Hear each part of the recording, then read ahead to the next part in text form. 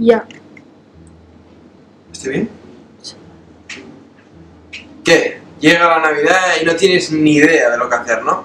Pues ven conmigo que te voy a enseñar una receta rápida, buenísima y riquísima para sorprendernos a todos. ¡Vamos!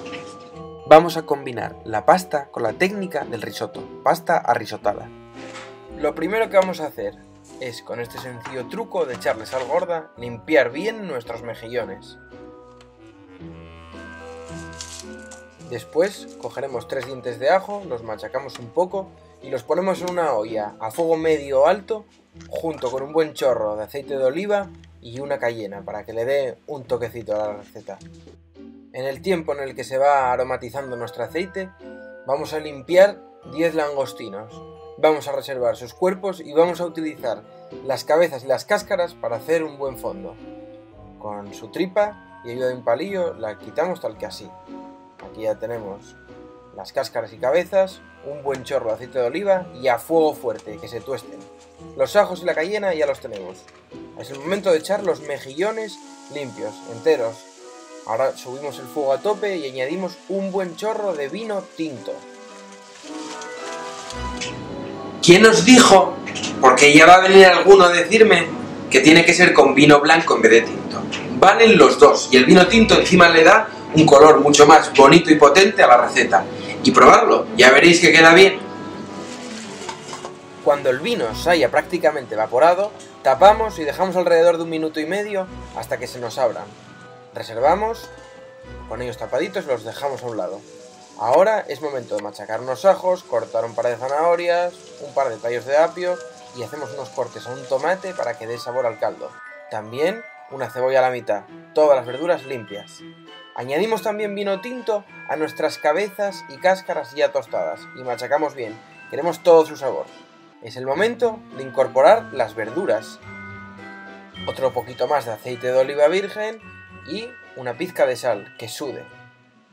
Ahora, ya con los mejillones un poco más fríos y podemos trabajar con ellos, los separamos de su concha y le quitamos esa especie de pelo interior. No nos interesa, queremos que quede el plato gourmet y riquísimo. Los que no se abran, los desechamos, que ya sabéis, si no se abren están malos, mirad qué pinta. Reservamos las carnes limpias de mejillones y langostinos. Y mirad qué pinta este agua que ha soltado los mejillones, con ese color que ha dejado el vino tinto. Pues ahora, sobre nuestras cabezas y cáscaras ya tostadas, filtraremos o colaremos este agua.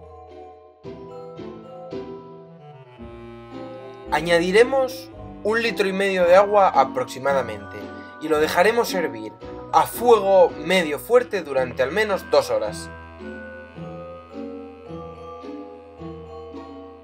Pues bien, después de dos horas a fuego medio, este es el color que ya tiene nuestro caldo.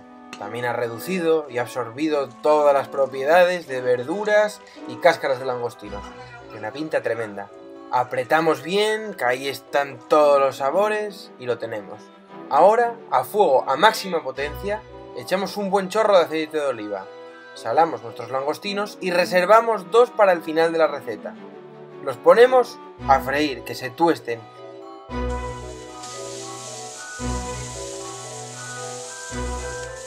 Cuando estén los langostinos tostados por ambos lados, ¿qué haremos? Incorporar un chorrito de vino tinto que ayudará a recoger todos los sabores del fondo de la sartén y cuando éste se haya prácticamente evaporado, que quede así de esta textura como pegajosita, lo incorporaremos a nuestro caldo. Ahora añadiremos un poquito de agua con el fuego ya apagado para volver a recoger todos los sabores, que no se pierda nada. Así nuestra pasta tendrá un sabor tremendo.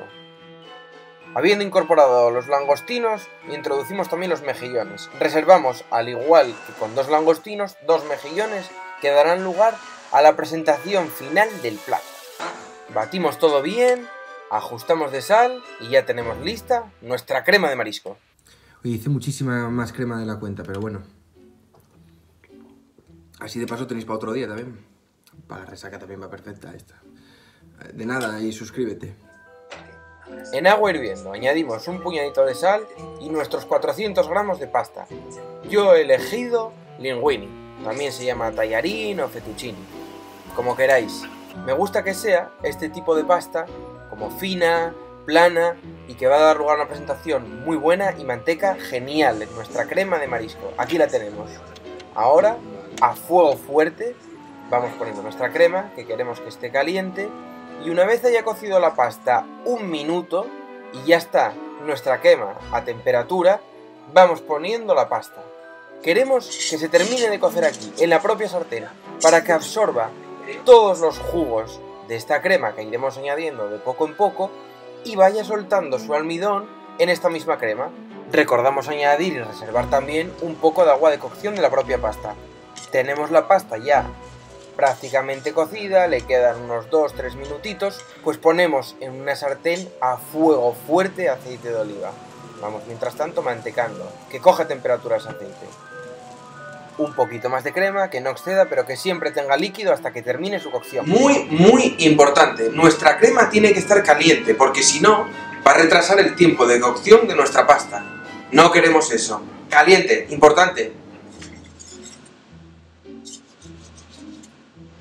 Ya el aceite está caliente, pues ahora pasamos a poner nuestro langostino, que coronará el plato. Un poquito de sal, vuelta y vuelta. Que quede tostadito, pero que su interior también quede poquito hecho. Un poco de agua de la cocción en la sartén del langostino. Sí, sí, sí, sí. P, P, P, P. Si no te suscribes, te haré un bocata de chopepe. ¡Uh Yeah. Vamos girando con el fuego medio fuerte y seguimos echando crema, la que vaya necesitando. Yo aproximadamente por 400 gramos de pasta he utilizado 450 mililitros de crema. Probamos para ver cómo va de cocción y si fuera necesario ajustarla de sal y añadimos algo más de líquido y con el fuego ya apagado ahora le añadimos unos cubitos de mantequilla y como siempre digo para hacer la mantecatura grasas, líquidos, almidón y movimiento. Si tenéis alguna duda de cómo hacer esta pasta arrisotada, quizás os sirva mi vídeo de cómo hago el risotto. Os lo dejaré por aquí para que le echéis un vistazo si queréis. Y ahora como con el risotto, recordar fuego apagado para que las grasas vayan cogiendo más cuerpo y le añadimos un poquito de parmesano, simplemente para que le dé textura y un puntito así lácteo salado muy rico.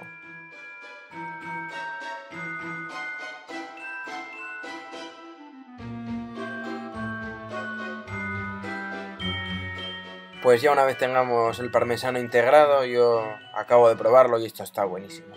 Así que ahora solo nos queda emplatarlo. Ah, y atentos, que os tengo que contar una cosa. ¿Te imaginas si encima te enseño a hacer la pasta fresca? Pues estate atento al siguiente vídeo donde te voy a enseñar a cómo hacerla.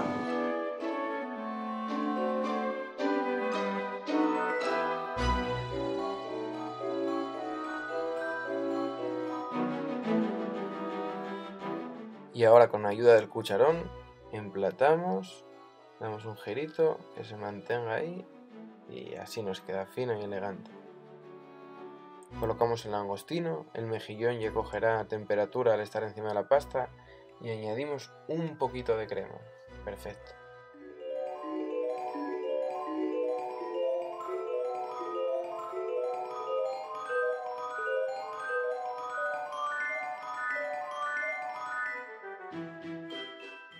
Sí, sí, sí, sí. P, P, P, P. Si no te suscribes, te haré un bocata de chopepe. ¡Uh Yeah.